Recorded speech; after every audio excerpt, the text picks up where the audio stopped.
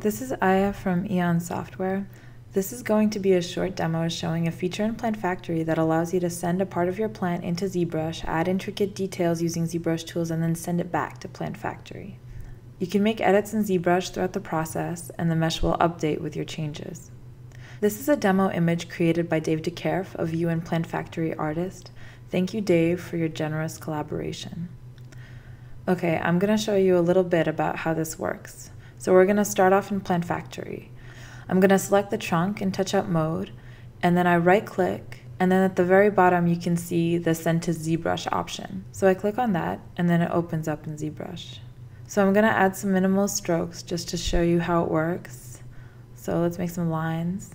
And then I'm going to just test it. So if you look on the top right, there's a button called GoZ.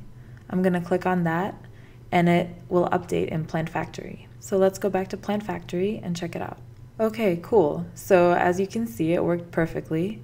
You can change the shape of the trunk in PlantFactory using procedural modeling tools, and it will keep the edits you made in ZBrush. So for example, let me curve the trunk a little bit and send it to ZBrush.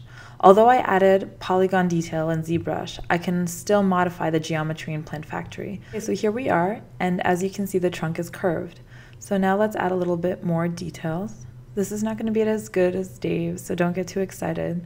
So ZBrush allows you to edit geometry by displacing or sculpting it. You can also change the subdivision of the mesh if you want to.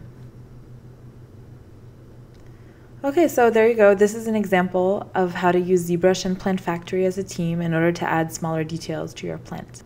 So thank you for watching, and I hope this was helpful.